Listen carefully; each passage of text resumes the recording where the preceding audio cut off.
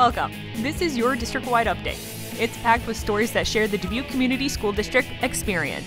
Let's get started.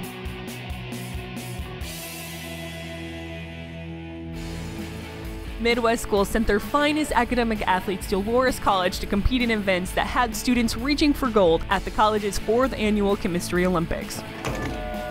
Representing our district, Dubuque Senior High School, with two teams Team Summit and Team Alpha.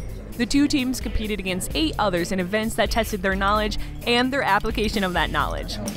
It's not just based on your physical ability, it's your intellectual ability. And doing that gives like this other range of students an outlet to like compete and have fun. These Olympic Games tried our students' speed and preciseness by having them identify chemical solutions, Time. determine chemical densities, and decipher general chemistry knowledge. Between events, these Olympians toured the campus's labs and participated in specialized science activities that promoted the vast career paths of the field study. I really like science and chemistry, and this is like a good experience to learn what other people do with it and what you can do with it. Senior has been the reigning champions of the Chemistry Olympics since, well, its beginning. And after this year's events, they continue to be. Team Summit took home the trophy with a first place finish. Team Alpha followed closely behind, taking third place. Here's to all our chemistry Olympians for a job well done and for bringing home the AU. That's gold for all you non chemists. Congratulations, Senior. Diversity, peace, and tolerance. All qualities that make our school's atmosphere unique, strong, and accepting. In a month celebration, Jefferson Middle School participated in school wide activities that encouraged and enhanced those qualities. People can get picked on for their color or where they're from. So it's important to stop that because you shouldn't be picked on for just what you look like. You are you. The activities focused on creative expression and sharing a voice that promotes their school's relationship to diversity, peace, and tolerance. One expression appearing in the form of door decorations, reminding the school community the value of respect and being different. My home base, we did the hands, and we did a picture of our hands to represent that everybody is different. You don't want to be the same as everybody, and you can have your own personality. It's okay to be different and learn about other things about people. Other days' events were spent defining human rights through a collage of newspapers and magazine clippings, neighborhood cleanup, and the creation of uplifting door hangers.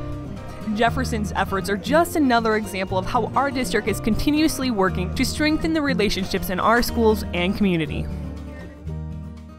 Back in March, a devastating fire at Loras College's visitation hall displaced dozens of students with their belongings lost. After one of our students at Lincoln Elementary School saw what physical and mental rubble the fire left behind, she decided to find a way to help the students' healing. In the couple weeks following the fire, our second grade student Addie Dura went to her church community and raised enough money to donate $500 in gift cards for the affected students. That's an impressive number, but not for Addie.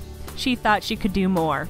I went to Lear Student Council and I told them that I was wanting to do a fundraiser because I wanted to help the Loras College people. With guidance from her family and Lincoln Elementary, Addie empowered her whole school to get involved. In a one day school wide fundraiser, the Lincoln community raised an additional $203.22 for the Loras students. Way to go, Addie, and the entire Lincoln community for making such a big impact. This bonus story will likely brighten your view on our community support. This past summer, John and Alice Butler donated the funds that brought Bryan Elementary School back to its historical roots. The project replaced all of Bryan's windows, doors, and exterior lighting. With the project in completion, Bryan held a celebration to honor and thank the Butlers for their contribution. The Bryan Window Project has not only changed the atmosphere of the school, but enhanced our students' ability to focus and see the learning opportunity in each day. See for yourself the impact this building's transformation is having in our classrooms by clicking this link and watching a short video about the project. Thank you again to John and Alice Butler for your generous donation and investment in our students now and into the future. Well, that's what we have for you this time. Stay connected with us by checking out our website, www.dbqschools.org, or follow us on social media. Thanks for watching.